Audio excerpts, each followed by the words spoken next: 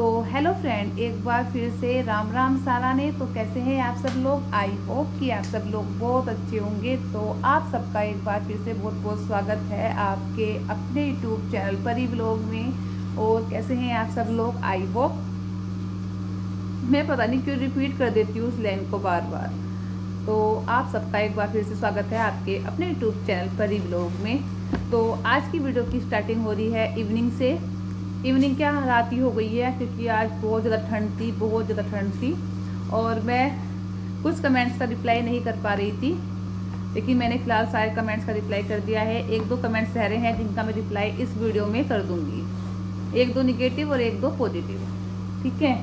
तो सबसे पहले कमेंट का रिप्लाई नहीं कर पा रही थी, वो हाथ से मैंने आपको हाथ दिन दिखाई थी देखो इन पर सब पे ना स्वेलिंग आ रही है।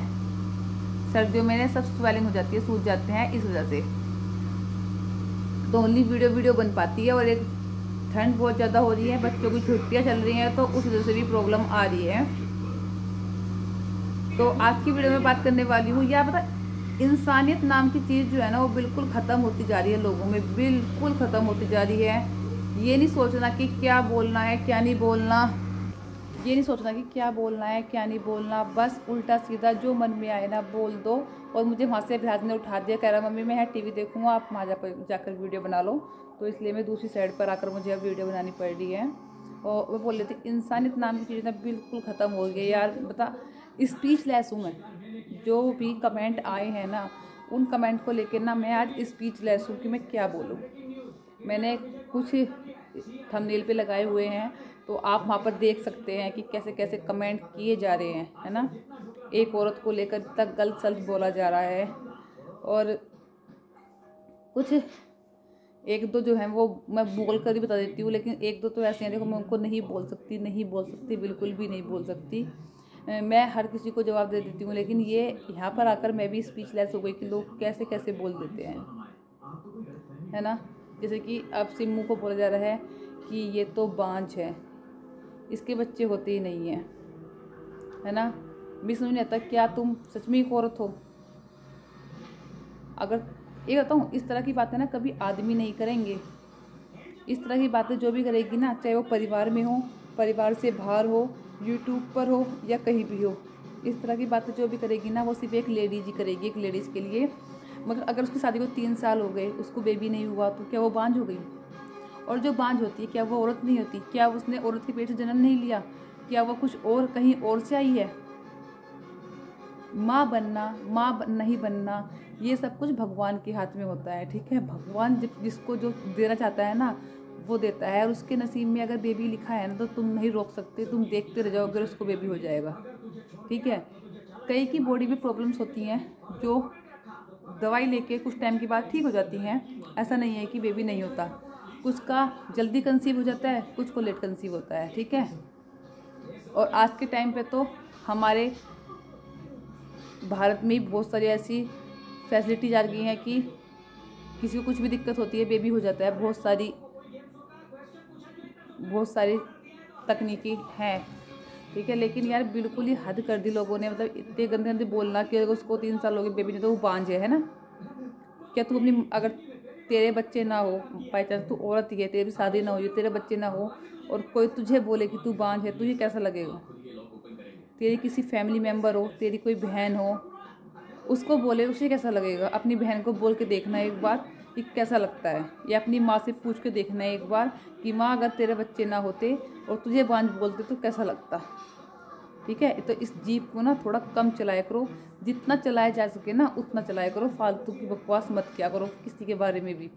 नेगेटिविटी बोलने की भी ना एक हद होती है। एक हद में रह के बोलते हो ना तो वो फिर भी बर्दाश्त की जाती है। लेकिन जब एक हद पार कर देते हो ना तो वो नेगेटिविटी फिर बर्दाश्त नहीं होती है। और जितनी भी लेडीज़ है ना, शायद मुझसे एग्री होंगी इस चीज़ से कि माँ बनना सुख, माँ बनने का जो सुख होता है ना, वो कितना बड़ा सुख होता है, कितना मतलब ये कहते हैं जब एक औरत एक बच्चे को जन्म देती है ना तो दूसरा जन्म होता है उस औरत का। और तुम कहाँ से आई हो? थोड़ी बहुत दिमाग में अकल है ये सब बेच खाई? मतलब कैसे कैसे वर्ड यूज़ करते हो? एक औरत के लिए है? शर्म लिहाज सब ख़त्म हो गई, है ना? शायद ये वर्ड यूज़ ना हम किसी अपने दुश्मन के लिए भी ना करें। उसके पति को इतना गंदा गंदा बोलना कि इसका पति तो हिजड़ा है, ये है, वो है। है थोड़े बहुत दिमाग। जी तो ऐसा कर रहा था तो मेरे पास होती थप्पड़ खींच के तेज मारती, गाल पर जब पूछती, अगर उसका पति हिजड़ा होता तो क्या उसका पति पुलिस में आर्मी में होता? मतलब किसी से इतनी दुश्मनी निकाल लो, इस हद तक दुश्मनी निकाल लो कि उसको उल्टा सीधा बोलते रहो, है ना?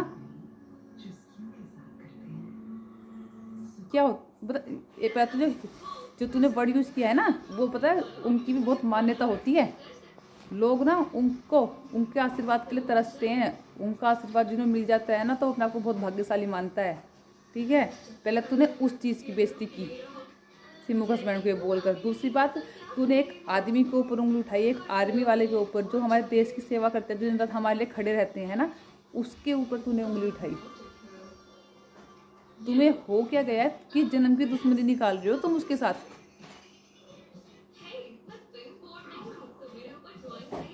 कुछ लोग बोलते हैं कि आपने झूठ बोला था कि सिमू प्रेग्नेंट है। तो मैंने ये नहीं कहा था कि हंड्रेड परसेंट श्योर है कि सिमू प्रेग्नेंट है है ना? ये बोला था कि सिमू हो सकता है कि प्रेग्नेंट है। और मैंने नहीं, बहुत सारी लेडीज़ ने बोला था, लेकिन कम से कम तुम्हारी तरह ये तो नहीं बोलता कि वो बांझ है या उसका पति ऐसा है, उसका पति ऐसा है। बोला था तो कुछ पॉजिटिव भी बोला था, उसके लिए कुछ निगेटिव नहीं बोला था, ठीक है? और भगवान करे जो मैंने बोला था ना, वो पूरा हो जाए जल्दी जल्दी उसको बेबी हो जाए। ठीक है? कम से कम तुम्हारी तरह निगेटिव तो नहीं बोला था, तुम्हारी तरह निगेटिव नहीं बोलता पॉजिटिव बोला था कि उसको सिमू प्रेग्नेंट है। अगर सिमू प्रेग्नेंट है तो इसमें कुछ मैंने गलत नहीं बोला था। और मैं तो कहूँ, भगवान इसकी, मेरे मुँह से जो निकलाना है, जो मैंने बोला सिमू प्रेग्नेंट है, वो प्रेग्नेंट हो जाए और दो हज़ार चौबीस में ही उसको बेबी हो जाए। फिर तुम्हारे मुँह पर तमाचा लगेगा ना कि तुम किसी को मुँह दिखाने लायक नहीं बचोगी।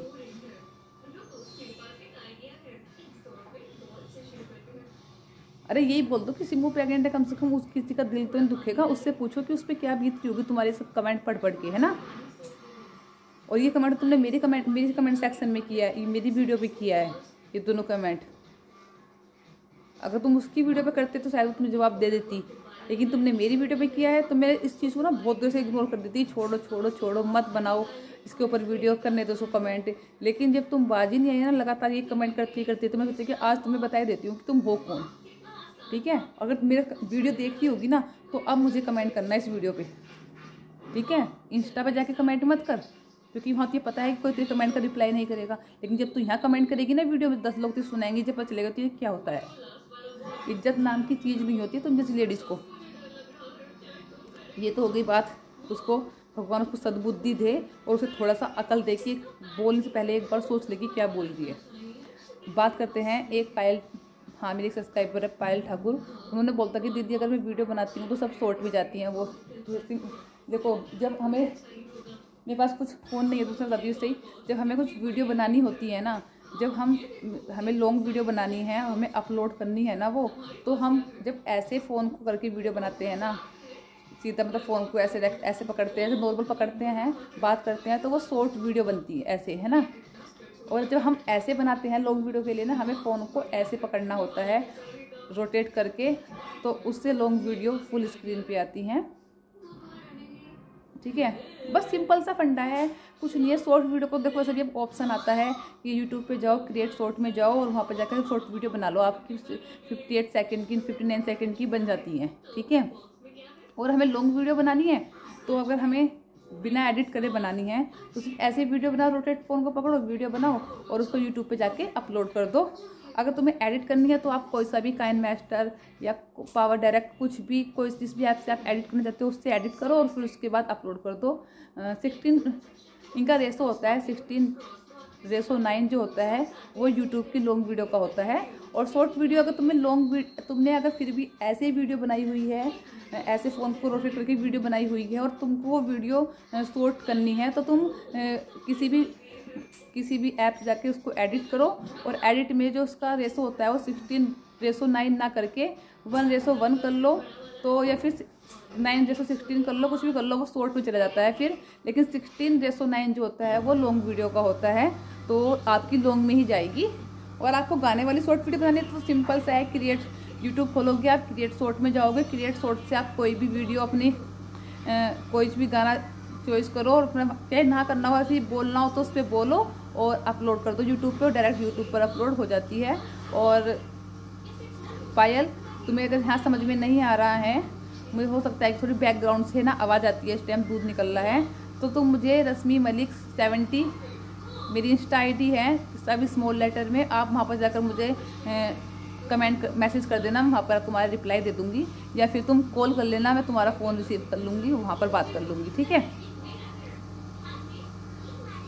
तो चलिए करते हैं वीडियो को यहीं पर एंड और फिर मिलते हैं आपको अच्छे से नई वीडियो के साथ। और आज के बाद ना लिमिट में रहकर बोलना, आज इतना बोला है, आगे हो सकता है कि लिमिट पार करेगी ना तो बर्दाश्त नहीं होगा। ठीक है? और ये सिर्फ़ मैंने सिमू के लिए नहीं बोला। अगर तुम किसी भी लड़की के लिए बोलती ना मेरे चैनल पर आकर तो मैं फिर भी तुम्हारा जवाब मेरा यही रहता। उसमें चाहे तारा होती, चाहे कुछ भी होती, तुम किसी भी लेडीज़ के लिए बोलोगी ना तो वो बहुत गलत होगा। आगे से सोच समझ के बोलना कि तुम क्या बोल रही हो। ठीक है? तुमने एक माँ, एक औरत पर उंगली उठाई है और साथ ही साथ एक आर्मी के जो, एक आर्मी के जवान पर तुमने उंगली उठाई है, ठीक है? तो आगे से सोच समझ के और लिमिट में रह के बोलना, कितना बोलना है, कितना नहीं बोलना।